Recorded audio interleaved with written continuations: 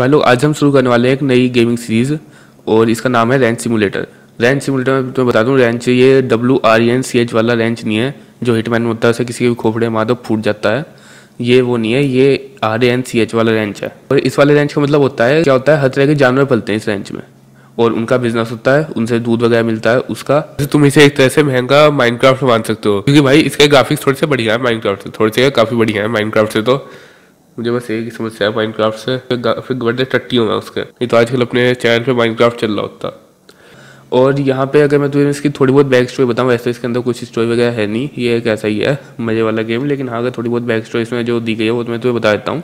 तो इसमें क्या होता है, हमारे ग्रैंड की एक आखिरी इच्छा होती है कि उनका पता नहीं कि हम, उनका जो रेंच है उसे संभाले। वो जो रेंच होता है ना उनका फैमिली बिज़नेस होता है। मतलब पुश्तों से चला आता है। अब क्या होता है, हम भी बेरोजगार हो जाते हैं, हमारी नौकरी वोकरी चली जाती है तो भैया कुछ काम मिल जाता नहीं, हम सोचते हैं, चलो भैया, दादाजी की आखिरी इच्छाएँ पूरी कर लेते हैं, और मतलब कुछ काम मिला तो मिल जाएगा। तो हम अपने फैमिली रेंच पे आते हैं। भाई, फिर हम यहाँ आके देखते हैं, भाई, पूरा सब कुछ टूटा फूटा पड़ा है। घर वर टूट फूट रहा है, पूरा रेंच टूट फूट रहा है, जानवर यहाँ पे कोई है नहीं। और जो ग्रैंड है वही काफ़ी टाइम पहले जा चुके हैं, और पूरा मतलब घर बिल्कुल ख़राब हुआ, हुई पड़ी है यहाँ पे हालत, सारी चीज़ की। तो भाई फिर हम यहाँ पे सोचते हैं कि भाई अब क्या करें? तो फिर हमें ग्रैंडफादर का लेटर मिलता है, जिसमें चाहते थे उनकी आखिरी इच्छा पूरी हो। भाई फिर हम लगते हैं उनकी आखिरी इच्छा पूरी करने में और थोड़ा बहुत अपना भी काम बनाने में। ये भी एक गोल है हमारा कि हाँ अपना भी कुछ ठीक ठाक। तो भाई इसमें तुम्हारे भाई ने पूरा एक मिलियन डॉलर का बिज़नेस जो है क्रिएट कर दिया। एक मिलियन डॉलर बोले तो इंडियन रुपीज़ में साढ़े सात करोड़ का आसपास। क्योंकि प्राइस ऊपर होते रहती हैं तो मैं एक गोल टाइप था कि एक मिलियन डॉलर बिज़नेस क्रिएट करेंगे तो वो मैंने कर दिया इसके अंदर। और भाई इसमें मतलब एक तरह से फाइनेंस का होता है काफ़ी ज़्यादा, कि हम क्या चीज़ कितने पे खरीदते हैं, कितने पे बेचते हैं, क्या होता है सब फाइनेंस का सिस्टम होता है इसके अंदर। तो उसे समझ के हमें इसके अंदर बिज़नेस क्रिएट करना होता है। थोड़ा बहुत काम भी करना होता है, पूरा भाई घर पर रिकन्स्ट्रक्ट करना पड़ता है, पुराना हटा के, नया बनाना पड़ता है पूरा। वो तो भाई ने बनाया, अभी पहले वही देख लो कि फाइनली एक मिलियन डॉलर का बिज़नेस दिखता कैसा है इसके अंदर। तो भाई सही बता रहा हूँ, इस वीडियो में काफ़ी ज़्यादा मेहनत लगी है, और यार खुद देख लो तुम। करीब करीब एक घंटे से ज़्यादा की वीडियो बनी है। मतलब अगर हम इसे दिन में कन्वर्ट करें तो छः दिन से भी ऊपर करीब करीब सात दिन छः सात दिन के बीच मतलब बंदा अगर चौबीस घंटे पूरे हफ़्ते रिकॉर्ड करे तो बनती है वीडियो। तो तुम समझ सकते हो इसमें कितनी मेहनत लगेगी क्योंकि इसे पूरी को एड भी करना और सब कुछ करना तो एक लाइक बनता है इसके लिए। ठीक है? ऐसे बिना लाइक ठोकने जा नहीं है। भाई, जैसे ही हम अंदर आते हैं, सबसे पहले हमारे लेफ़्ट हैंड साइड पे पड़ती है पार्किंग पार्किंग में भाई अंदर चल के देखते हैं। लुक तो तुम देख ही सकते हो कैसा है। और यहाँ पे बढ़ते अपनी पहली गाड़ी की तरफ़, जो कि है एक एटी ये देखे तुम्हारे भाई ने यहीं अंदर घूमने फिरने के लिए। उसके बाद में आगे आता है अपना लोन मोवर लोन मोवर जो है, ये यहाँ पे पूरा जंगल हुआ पड़ा था भाई, घास वास पूरी तो इसलिए तुम्हारे भाई ने इसे काटने के लिए ले रखा है। ज़मीन वाली घास काटने के लिए। और ये है मतलब तुम्हारे भाई ने खरीदी नहीं है, ये हमारे दादाजी से पहले से मिली थी, उन्होंने खरीद रखी थी हमने असेंबल करके यूज़ करना शुरू किया था। वैसे लकड़ी भरने के लिए काफ़ी अच्छी है लकड़ी और भाई वुड प्लैंक्स वगैरह भरने के लिए। इसके बाद में ये है मतलब ऐसी कोई छोटा मोटा सामान जैसे कि आसपास लेके जाना हो, उसके लिए। इसके बाद में रहती भाई अपनी एसयूवी ये है, इसका मेन पर्पज तो है, एक आगे वो खड़ा है, अपना ट्रेलर बड़ा वाला, उसे खींचने का। वैसे इसे कहीं ऑफ़ रोड पर घूमने के लिए भी ले जाया जा सकता है, थोड़ा बहुत सामान लेके। लेकिन मेन पर्पज़ इसका वही है। इसके बाद में आगे बढ़ते हैं, अपनी दूसरी गाड़ी की तरफ़। ये है घूमने फिरने के लिए सिडैन है ये एक, और जैसे थोड़ा बहुत सामान लेके जाना हो स्लीपिंग बैग वगैरह, उसे लेके भाई घूमने फिरने जाने के लिए बेस्ट है। इसके बाद में है अपना एक पिकअप ट्रक ये तो भाई ले रखा है, जैसे कोई थोड़ा बहुत सामान लाना हो यूटिलिटी लानी हो, उन चीज़ों के लिए मतलब थोड़े बहुत सामान के लिए ला रखा है बेसिकली ये। अगला जाता है भाई अपना एक और छोटा यूटिलिटी ट्रक ये है कोई पेंट वगैरह लाना हो या फिर कोई और छोटा मोटा सामान लाना हो उसके लिए। इसके बाद में आ जाते हैं भाई अपना ये बड़ा वाला ट्रेलर ये है एनिमल छोड़कर कुछ भी लाना हो तो उसके लिए अगर बहुत सारा सामान लाना हो तो वो भी दूस है ये है बड़ा वाला ट्रक इसमें चार गाय जाती हैं एक साथ अगर बहुत सारे लाइफ स्टॉक्स मतलब एनिमल्स आने हैं तो उसके लिए ये बेस्ट है। और उसके लिए तुम्हारे भाई ने लास्ट में आता है अपना स्लीपिंग बैग ये जैसे कहीं घूमने जाना होता है भाई, रात रात लग जाती है सामान भरने में लोड करने में तो उसके लिए ले रखा ये कि भैया पर्टिकुलर गाड़ी पे लोड करो और चल दो। वापस चलते हैं हम तो यहाँ पे आगे आ जाते हैं अपने तेल के कनस्तर। यहाँ पे मतलब काफ़ी सारे ऑयल टैंक्स रखे हुए हैं, वैसे तुम भी तो देख ही सकते हो इसका। इसके लेफ़्ट हैंड साइड में काफ़ी सारे ऑयल टैंक्स भी रखे हैं। उसके बाद भाई यहाँ पे है अपना एक स्लीपिंग बैग टाइप यहाँ पे मतलब सोने वोने का हो जाता है। पहले यहीं से सोते थे हम। और यहाँ पे राइट साइड में आ जाता है अपना हैन हाउस यहाँ पे भाई तीस तीस मुर्गी है एक एक में। ये जो सफ़ेद सफ़ेद बनते हैं ना इनमें एक एक में तीस तीस मुर्गी है। तो यहाँ पे भाई इन सबको खाना देने के लिए दे, बना रखे एक ग्रेनरी। यहाँ पे क्या है इससे मुर्गियों को भी और गायों को भी सबको खाया जाता है। इसके अंदर सुअरों के लिए बस अलग है। और नहीं तो यहाँ से मुर्गियों को गायों को खाया जाता है। इसकी रेंज कम है इसलिए यहाँ पे दो बना रखी है। यहाँ एक थोड़ी सी आगे चल के है। उसे आगे देख लेंगे। वैसे देख रहा, लाइन लाइन बहुत सारे हैन हाउस बने हुए हैं और हर एक में तीस तीस मुर्गियाँ तो सोच रहा है कितनी सारी होंगी। दोनों काफ़ी बड़ा घर है तो इसलिए ए टी वी लेके चलना पड़ेगा। क्योंकि वैसे पैर थक जाएँगे भाई, दिमाग की नहीं हो जाएगी। लास्ट तक पहुँचते पहुँचते, और यहाँ भाई लेफ़्ट साइड में आ गए अपने सूरों का इलाका राइट में तो है ही सारा मुर्गियों का। लेफ़्ट साइड में सूरों का इलाका है, और भाई थोड़ा सा आगे चल के अभी गेट भी आने वाला है, जहाँ से हम इस इलाके के अंदर जा सकते हैं। तो भाई गेट खुल चुका है, और चलते हैं सूरों के इलाके में। भाई, ये देख रहा है खूब बड़ा है। भाई से बताऊँ, अभी तो मैं लग रहा हूँ क्या यहाँ सुअर हुआ तो है नहीं, एक आधे कोई गिनती का, वो भी उतर है परे की साइड। लेकिन भाई, ऐसा नहीं है, एक टाइम पे इतने ज़्यादा सुअर हो गए थे कि भाई पूरे सुअर सुअर हो गए थे और भाई पूरा गेम अटकने लग गया था। बड़ी मुश्किल से वो साफ़ करे मैंने। फिर यहाँ ला के भी आठ दस छोड़े हुए हैं। एक तो भी गया उनमें से पीछे। ये देखोगे तुम आगे के पार्ट्स में। और भाई, यहाँ पे ये ग्रेनरी है, ये सूरों के लिए है। इसके पीछे थोड़े से फीडिंग प्रो वगैरह लग रहे हैं, वो भी उन्हीं के लिए हैं। और ग्रेनरी के पास हर ग्रेनरी के पास में विंड मिल भी लग रहा है, क्योंकि क्या खाने के लिए ग्रेनरी है और पानी के लिए विंड मिल है।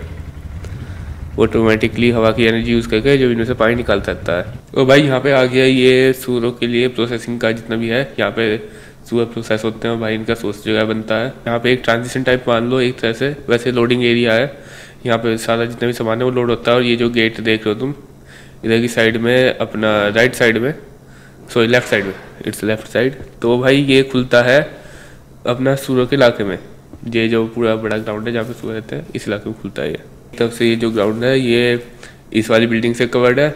एक तरफ़ से ग्राउंड जो है पीछे गैराज से कवर है और भाई दो साइडों पे इसके आ जाते हैं जो फैंस है वो। उसके बाद भाई आगे आ जाता है अपना ये पूरा स्टोरेज एरिया यहाँ पे जितनी सोर्सेज वगैरह, जितना भी भाई सूर्य का सामान पूरा स्टोर होता है। खूब लंबा इलाका है, ये जितनी भी सेफ़ टाइप बनी हुई है कबर्ड सी, ये सब में सोसेज रखे जाते हैं। पहले यहाँ पे आ जाता है अपना मुगलों का इलाका और यहाँ जैसे हम अंदर चलते हैं तो देख सकते हैं मतलब काफ़ी सारी टेबल है सारे टोके रखे हैं एग्स के लिए। उसके बाद में आ गया भाई गायों के इलाके में गेट खोलते हैं बड़ा वाला सबसे पहले। भाई यहाँ पे काफ़ी सारे चीज़ स्टोरेज के लिए है मतलब इनमें पनीर बनता है, बहुत वाला चीज़, सारी सारी चीज़ है इसके अंदर। और भाई ये इसके आगे सेल्स है, यहाँ पे गाय रहती है, यहाँ पे इनका खाने पीने का सिस्टम है, ऊपर लाइटें लगी पड़ी है तो भाई ये काफ़ी सारे सेल्स है सीरियसली मतलब पूरा लाइन लाइन देख लो यार। चलते जा रहे, चलते जा रहे, करीब करीब तीस चालीस के करीब है। वो भाई यहाँ पे एंड में आके इस साइड पे रखे सारी बाल्टी बाल्टी, जो मतलब गाय का दूध निकालने काम आती है, और ये सारे के सारे स्टोव है टेबलों पे। और इनके अंदर चीज़ बनता है। इन भगोनों के अंदर दूध दूध डाल के, और इनके अंदर स्टोर होता है, जो ये कबर्ड टाइप बनी हुई है। भाई घर में जाने का एक रास्ता तो आगे से है। और यहाँ पे एक छोटा वाला गेट लगा हुआ है, लेकिन हम पार्किंग वाले रास्ते चलेंगे। और भाई, आगे हम पार्किंग में, और यहाँ सबसे पहले ये एक लाल सा जो तुम कमरा देख रहे हो, ये है हार्डवेयर के लिए, जैसे मतलब जो एक्स्ट्रा मेटल होता है, और मतलब जो भी सामान है हार्डवेयर का कुल मिला के वो सब यहाँ पे रखा रहता है। और भाई, इसके बाद में ये है अंदर की एंट्रेंस वैसे भाई, सीधा पूरा का पूरा कॉरिडोर है। और यहाँ पे ये वाला जो गेट है ना, ये वही हार्डवेयर वाली जगह पे खुलता है। वो भाई जो सामने वाला गेट है, ये खुलता है किचन के अंदर। तो भाई यहाँ पे काफ़ी सारी टेबल रखी गई है पैरल पैरल सी, जिससे भी मतलब कई सारे लोग एक साथ काम कर सके। इसके बाद में इस इलाके के पल्ली साइड से निकले तो हम आ जाते हैं वापस से कॉरिडोर में। कॉरिडोर ऐसा है, थोड़ा सा एल शेप टाइप कॉरिडोर के भाई दूसरी साइड पे एक और सीढ़ी है। जो दूसरी साइड वाली सीढ़ी है, वो तो सीधा क्या सीधा तीसरी मंजिल पे जाने की है। लेकिन ये जो है, ये दूसरी मंजिल पे जाने की है। यहाँ सबसे पहले भाई की साइड चले तो भाई ये पूरा का पूरा वैसा इलाका मतलब बालकनी टाइप यहाँ से पीछे का इलाका देख सकते हैं आसानी से काफ़ी लंबी चौड़ी बालकनी है। वो अभी सनसेट सी का टाइम है, बिल्कुल शांत सी हो रही है तो इसे अंधेरा अंधेरा सा हो रहा है, कुछ खास दिख रहा, नहीं तो यहाँ से काफ़ी सही व्यू आ जाता है। और भाई ये वाला जो कमरा है, ये है भाई की सेटिंग के लिए कभी पिंक पिंक भाई इसी कमरे के पीछे जो कमरा है थोड़ा सा पर्पल से कलर का, इस पर ऐसे नीचे कलर की लाइनें वाइनें भी लग रही है। ये कमरा है भाई पेंट का मतलब इसके अंदर हर तरह का पेंट है, जो भी पेंट यहाँ पे इस जगह पे यूज़ हुए हैं, उनके लिए। ये कमरा है। तो मतलब जैसे मान लो कहीं पे गलती से कोई और कलर हो जाता है और उसे रिप्लेस करना हो तो भाई सफिशिएंट अमाउंट ऑफ़ पेंट है यहाँ पे। और भाई यहाँ पे बालकनी है, जैसे मतलब गाड़ी से कुछ सामान अनलोड करना हो, उसके लिए। दोनों में ही है। इस कमरे में भी, इसके साइड वाले में भी। और ये है भाई इसके साइड में अपना जो भी बिल्डिंग मटेरियल है, उसका कमरा। मतलब इसके अंदर लकड़ी और भाई मेटल जो भी बिल्डिंग मटेरियल इसके अंदर इस्तेमाल होता है कंक्रीट वगैरह, वो सबका सब यहाँ पे रखा हुआ है। और भाई सेम तरह से इसके अंदर भी ये बालकनी है। और भाई यहाँ से आराम से सामान अनलोड किया जा सकता है। नीचे गाड़ी लगा खड़ी कर दो और भाई वहाँ से अनलोड कर लो डायरेक्ट बालकनी से। तो भाई लोग इस कमरे के बाद से जैसे हम सीढ़ी से ऊपर की तरफ़ आते हैं तो हम देखते हैं बाहर ये लाल लाल रंग का कॉरिडोर और भाई इसमें बीच में कई सारे पिलर भी पड़े हुए हैं, थोड़ा सा सपोर्ट देने के लिए छत को। और भाई यहाँ पे है ये एक खिड़की, आराम से बाहर देखने के लिए। और भाई यहाँ आ जाते हैं इस वाले कमरे में।